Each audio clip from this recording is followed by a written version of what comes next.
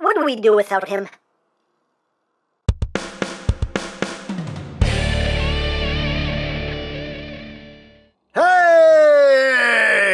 What's up, my peoples? Emgo here, the freaking geek himself, and today we will be reviewing the Pingtou Honey Badger knockoff MPM8 Megatron. So here we are, and there he is. And first and foremost, as always, we'll take a quick look at the packaging.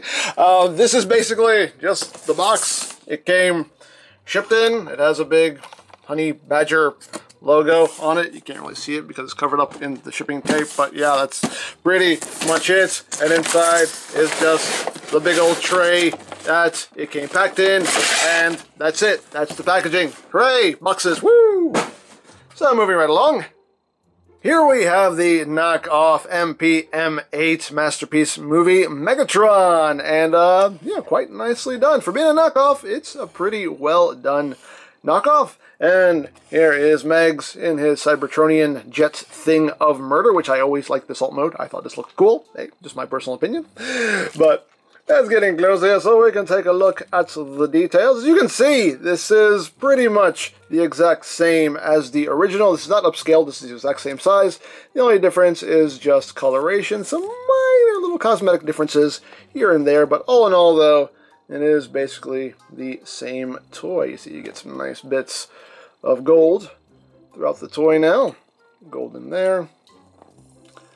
See his face kind of hidden in there as well. All in all, nicely done. Some nice details. Nice and spiky. The way I like my Cybertronian jets. And his big old feet hanging out the back. All in all, looking pretty cool. So now let's get down to the only comparison we really need to do here. Here he is with the original MPM-8 Megatron. As you can see, from a purely visual standpoint, the only difference here is just in the coloration. Other differences between the two is basically everything that was rubber on the original version is made of hard plastic on the knockoff version, like this part right here, which was rubber. This is hard plastic. Uh, the fingers on this one are rubber. On this figure, they're hard plastic. Uh, these little spiky bits, spiky bits back here on the wings, rubber. These are hard plastic. These little panels right here, which are rubber on the original, are hard plastic on the knockoff. So you don't have any of the rubber parts here on the knockoff. And the knockoff doesn't have as much die-cast in it. Um, on the original, this back plate right here is all die-cast as well as his feet. On uh, the knockoff, this panel is just plastic. The feet are plastic. There is still die-cast in it, just a little bit. Uh, this right here is now die-cast, and uh, his uh, his kneecaps are made of die-cast. I don't know if there's any other die-cast on it, not that I've been able to tell. But yeah, a lot less die-cast on the knockoff version. And one little cosmetic difference that I noticed, I don't know if there are any others, but this is the only one that I've noticed anyway, is that uh, on this section here on the original, you can see this section here, this little bit is open, so you can see the tab going through it. And on the knockoff, they have that filled in there. So, you know. Again, little cosmetic difference. There could be more that I haven't noticed, but that's the only one that I've noticed so far. But there you go. So now let's run through his accessories. He does include his gun right here, which is the same mold as the original from what I can tell. And here it is with the original. So you can see them side by side. You know what, we'll even extend them here just so you can get the full look. Just locks it out. Boop. And whoop. Just so you can kind of see what's going on here. You see you got some nice metallic blue here now on the knockoff version. But otherwise, the exact same. The only difference here is just in the coloration. And we'll just fold this back up. Boop, that's when he's nervous. But anyway, we'll put that there. And you also get the uh, the chain for the chain whip gimmick here in robot mode. And you get not just one, but two of them. That's right. So you can dual wield them, which is pretty cool. And they are made of that bendy plastic. They're not rubber. They're not totally rubber like the original one is. You can see that just kind of, you know, that just kind of flops around. This can actually hold its position there. So not, you know, that complete rubber. It is still bendy, um, you know, but it's nice that you can actually kind of have him, you know, kind of in a whipping pose and it can actually hold it, so that's quite nice. So you get two of those, and of course you can store the accessories on the jet mode itself. As far as the gun goes, you can store this right back here, and it helps it kind of bring his feet down, move them out of the way, and kind of unpeg this back section here. And there are just two tabs, two tabs right here that go into these two slots right there. And you just take it and plug it in, plug it in, and then just tab everything back together, bring his feet back up, and that just stores right back there, just like the original. It kind of keeps the, uh, the look of the jet going. So you got that, and of course, the little chain whips. You can plug them back here. You have those little ports right back here. So if you want, you can just plug it back there. Doesn't hold that securely on this one though. This side doesn't want to anyway. Let's try the other way. How about this way? Will this side hold? That side will hold. There we go. There we go. Again, it's a knockoff, so, you know, the reverse engineering, so some tolerances may be slightly off, but you can store that back there. And, of course, you do have the two ports back here, so if you absolutely want to store both of these, you can, if you want to. If you want to store them back here, you can do it. A, as always, your toy. Display it however you wish. If you want to store it all, you can store it all. If I can get this pegged in. There we go, I can't get the side pegged in. Get in there. There we go. So again, you can have everything stored if you want to store it. But yeah, that is basically it for the alt mode, so let's get down to transformation, shall we? oh, not too bad. Not too bad of a spin. So let us remove all of his accoutrement and just put that off to the side. And we also need to remove his gun. Just get that pegged. Come on. Release.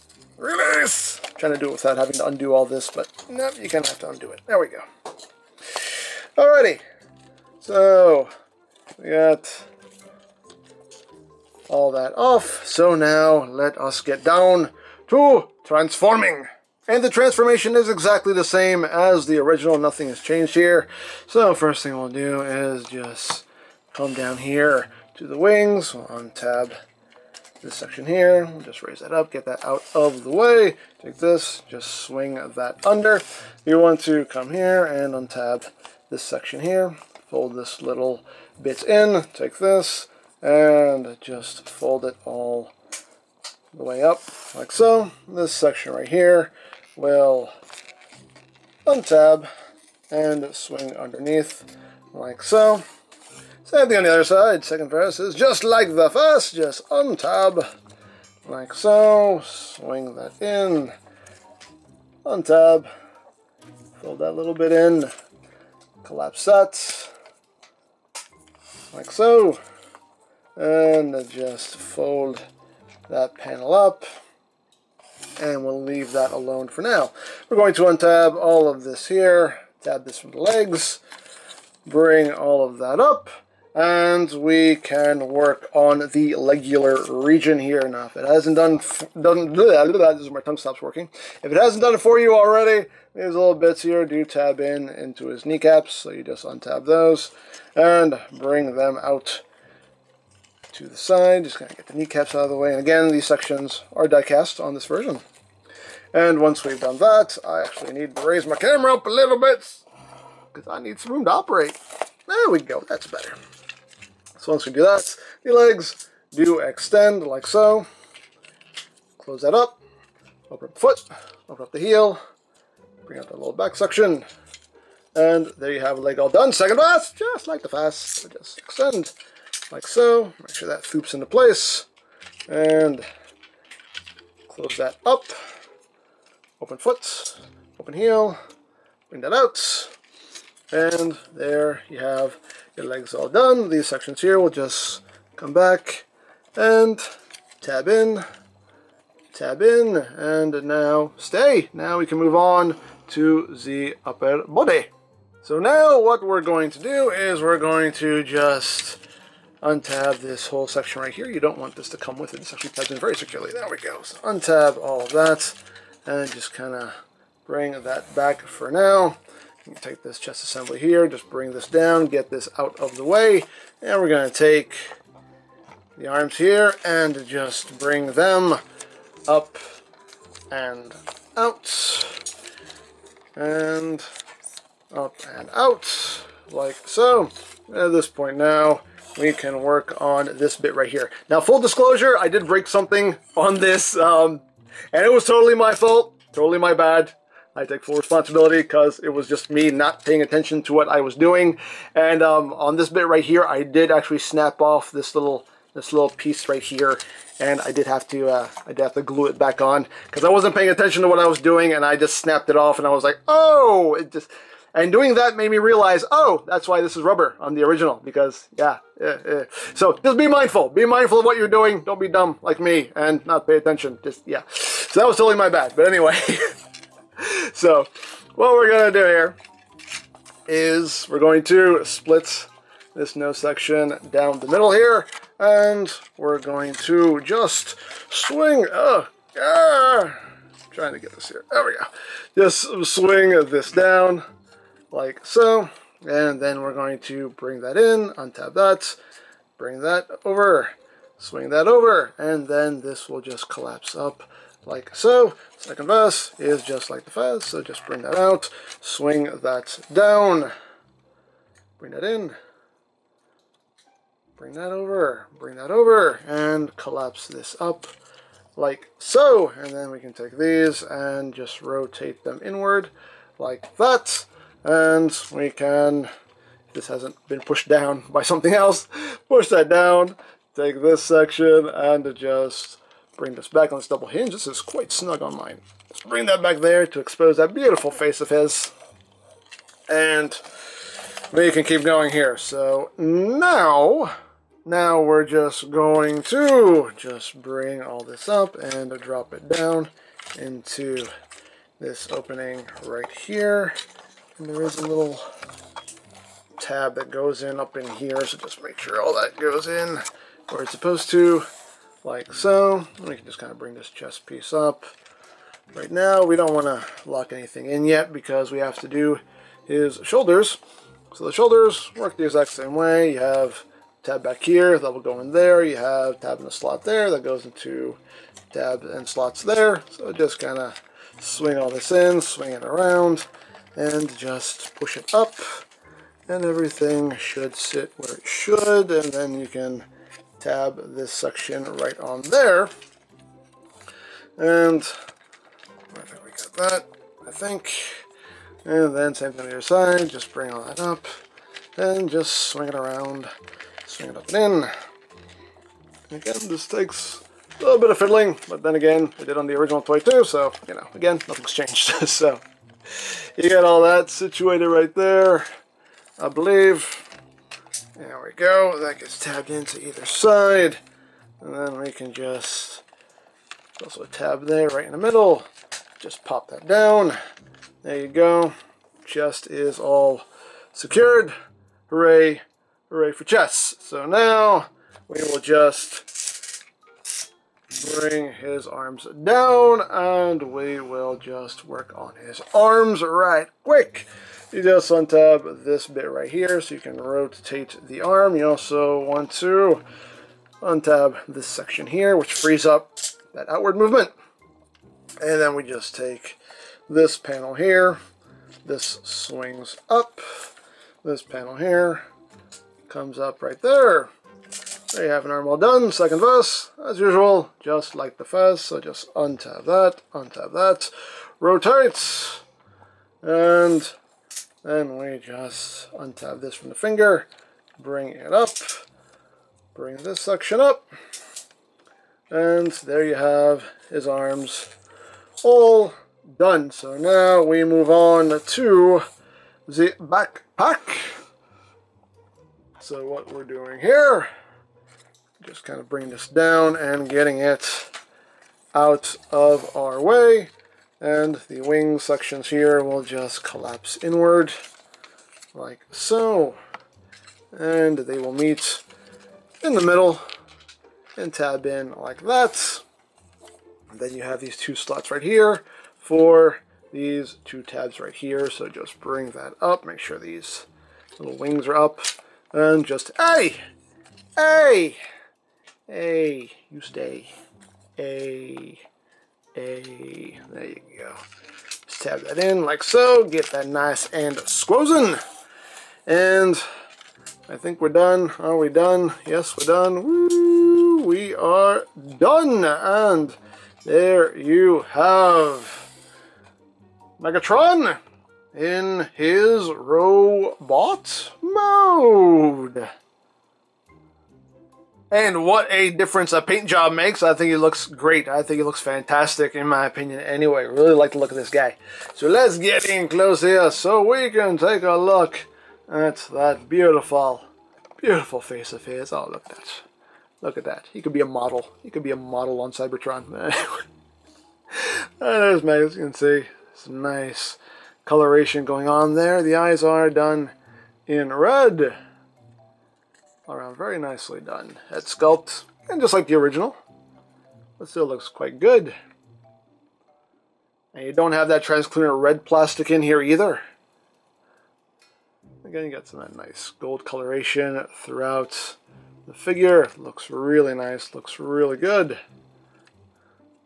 And going down the body. Little spindly fingers. No, no, looks really, really good. These big old feet. Then the back, and everything just like the original, but looks quite, quite good. Now, articulation-wise, the head can rotate. You do have that hinge there. You can raise up, which is quite snug on mine, but you can rotate his head around. You also have the head moving forward. If you need him to kind of look down, look more up, do a squirrel, can totally do all kinds of that. If you need, his mouth, of course, can open and close, so he can num num num num num num num, you know, so he can eat his burritos. Shoulders can rotate. Ugh. On a nice ratchet joint, get a little bit uh, hindered by the backpack there, but you can get him around. These sections right here can move out of the way. So you have the nice outward movements. You do have rotation right at the elbow itself. And you have about 90 degrees of bend there at the elbow. Again, all that on nice ratchets. The wrist can rotate. He does have his spindly little fingers here, which can splay out to reach on a hinge at the base. And these fingers right here do have a hinge here and a hinge there. He does have waist rotation. Legs can move forward that far, back that far. You can move these bits out of the way. For leg movement, you can do the full splits. You do have rotation right above the knee. You get 90 degrees of bend there at the knee. Little knee pads are on a hinge here as well. This extra little spike here is on a hinge. You can adjust that however you wish. And the feet, they can be pulled down on this double hinge if you need to, so the feet can move up, you can move them down, and you get all kinds of tiltage there. So, there you go. And of course we can give him his weaponry, we can give him his gun, and of course the storage works exactly the same. We can kind of take this and just shift that over to the side, and this can look onto his butt, like so. So you have that storage back there, if you wish. Or of course, we can arm him up properly here by removing his hands, and this can just plug in like so. So you can pew pew bang bang, pew pew bang bang. And if you want the full effect here, we can pop off both of his hands and bring them together and just bring that out attach it onto the other side like so open that up give him the full extendo gun, and you can have that going on if you wish. And of course we can give him the chain whip hands here, and it works the exact same way. You just pop off the hand, plug this in, plug the hand onto the end, and there you go. He's got his chain whips, and again it's cool because it can actually hold the pose, which is nice, and the base is on a hinge there, so you can have that angled wherever you want, and that's pretty cool. And of course, you can have this stored just like on the original, just plug it in right back there. But what's really cool is now that he has two, you can dual wield. And that's quite, quite cool. Plug that in. There you go. You can have that going on. I like that. I like that very much. And another thing you can do, since we have two of them now, you can do this. And I'm sure somebody's wondering. And the answer is yes. Yes, you can, since you have two of these now. You can actually connect them to each other, like that. And have a mega chain whip. Hey, why not? Now that's not going to hold the pose because that's just too much weight, but hey, still, a thing you can do if you want to do it. Now that's a whip. And the last thing to show off is in his chest here, we can just open this up. And in here, we have the Allspark. You can see, is nicely done. And here it is with the original version. You can see knockoff version done. And that darker silver there. But basically the same. As you can see, it just plugs right into his chest. Easy peasy, lemon squeezy, and you can pop out this central portion here of his chest plates. And again, reenact his final scene in the movie where he's all like, ah, ah, ah, dead. So there you have that, and now for comparison. Here he is with the original MPM Megatron. And again, you can see the differences in the uh, coloration here between the two. And in my opinion, anyway, the knockoff looks so much better. Just love the way this looks. Just really pops. So there you have that. And here he is with the Legendary Toys knockoff MPM Prime. And they look real nice together. Very, very nice. Me likes. Me likes. So there you go. So there you have the knockoff MPM Megatron. Um, you know, it's a knockoff, but it's a nicely done knockoff. It doesn't make any major changes to the mold itself, but just the color scheme makes it look so much better. Quality-wise, he feels good. He feels solid. He feels sturdy. That piece I broke off was totally my bad. That was just me not paying attention and just kind of ham-handing it. So that was totally my fault that that part broke, but it does feel quite solid and sturdy. Just don't be stupid like me and be mindful of what you're doing when you're transforming him.